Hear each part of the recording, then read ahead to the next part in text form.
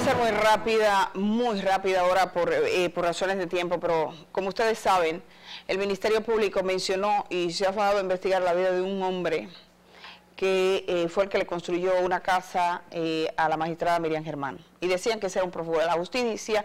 Los medios le llaman narcotraficante, yo no sé sustentándose en qué porque no tiene la más absoluta condena vinculada al narcotráfico en República Dominicana, ni siquiera un proceso abierto en tribunales, tiene sí una condena por golpes y heridas, y en Estados Unidos lo que tenemos hasta ahora es esa visa que vimos y que yo les mostré. Pero el elemento básico por el que estoy hablando de esto ahora es por lo que he tratado en el día de ayer, que es la identidad. Él tenía dos nombres, Gloss Ovalle, Richard Gloss Ovalle y Richard Molina Ovalle. Richard Gloss Ovalle era su nombre real, lo declaró su padre y su madre en el municipio de Cabrera, de eh, Salcedo. Entonces, Molina Ovalle fue una tía en Salcedo.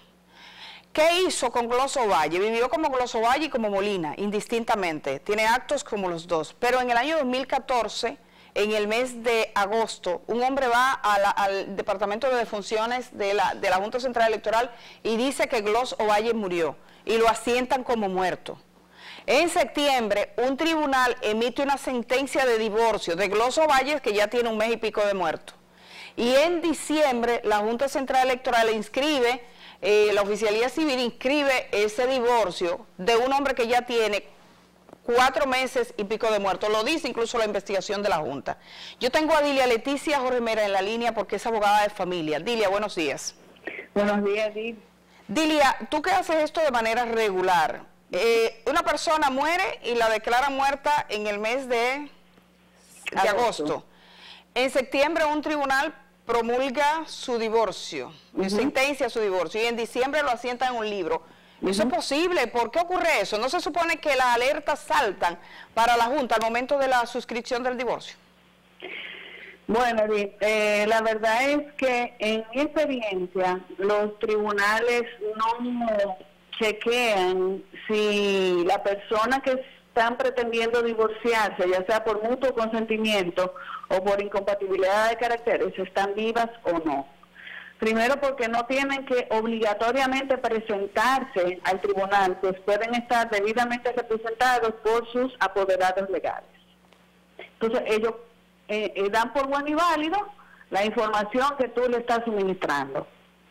Hasta que alguien, quizás si alguien se da cuenta, no sé qué, puede poner en alerta al tribunal. Pero no acostumbran a chequear, ah, ¿y esta persona estará viva o estará muerta? No. Eso, entonces, eh, se explica. porque. en el tribunal puede pasar. sí, en el tribunal puede pasar. Se supone que también tú eh, depositas actas recientes Ok. Entonces vamos con, la Junta. Cuatro meses y 23 días después, eh, esa sentencia del tribunal llega a la oficialía civil y proclaman, ahí no se supone que cuando entran mi nombre saben si cuánta cédula me han dado, si yo estoy viva, si estoy muerta, todo. Mira, yo he visto eh, casos eh, donde, bueno, con actas de nacimiento si ponen alguna de las... Eh, lo primero es, primero, discúlpame, que en cuando tú demandas un divorcio, tú no tienes que presentar acta de nacimiento. Okay. Tú tienes que presentar es el acta de matrimonio y copia de las cédulas de las personas. Okay. Entonces, cuando tú vas con ese pronuncia, con esa sentencia para pronunciar el divorcio, la oficialidad del Estado Civil, ellos lo que buscan es el acta de matrimonio para confirmar que esto y lo otro y aceptar el divorcio y emitir un acta, un extracto de acta de, eh, de divorcio. Pero ah, en la experiencia que han tenido, como que el tema acta de nacimiento no involucre. Quizás pudiera salir, pero que, en el acta de nacimiento aparecen las cédulas de los padres, quizás si entran en el mismo, una cédula por casualidad, pero que no tiene nada que ver con un divorcio de los padres, ahí pudieran salir a relucir que hay dos actas de nacimiento a nombre de una misma persona. Bueno, lo asentaron en la oficialía civil de la primera circunscripción del Distrito Nacional el día 30 de diciembre, plena festividad del año 2014. Siempre las cosas que son truqueadas siempre está cerca de una fiesta, yo no sé por qué.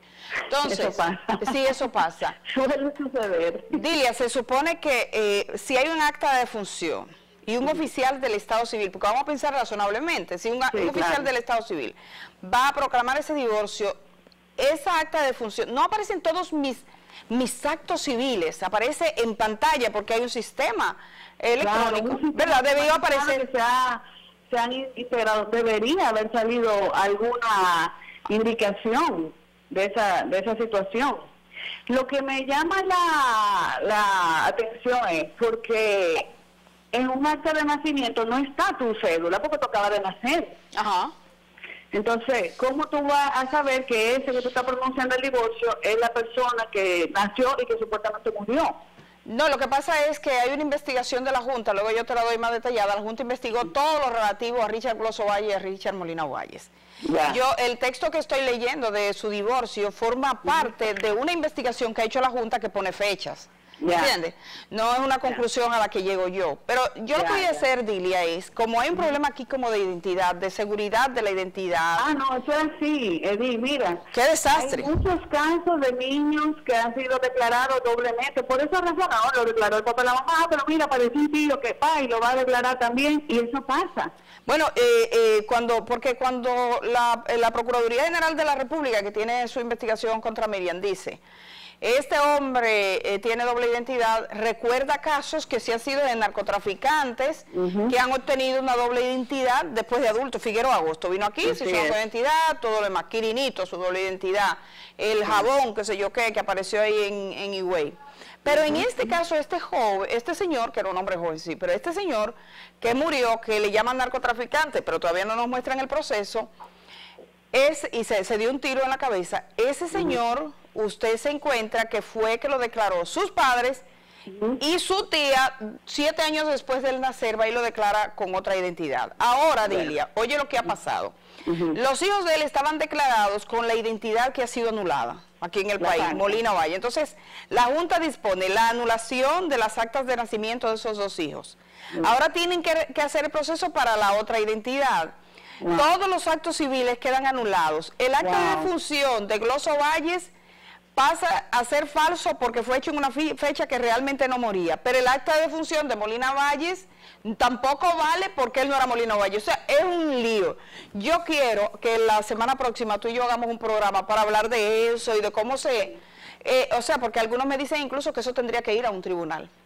Sí, sí. Porque hay mucha falsedad.